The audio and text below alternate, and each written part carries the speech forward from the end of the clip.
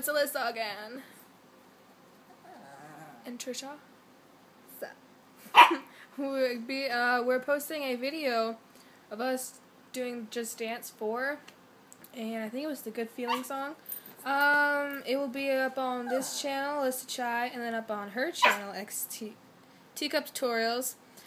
And, I mean, you could, we could do a voting to see who did the best dancing. I, I sort of have a feeling everybody's going to vote for her. Because she's got the good stuff. Aw, bye. But yeah, um, I mean, we could do that. I know probably nobody's going to comment, but I mean, who cares? Who cares? Uh, but yeah, Okay. thanks for viewing. Bye. How do you end it? You have to press press the-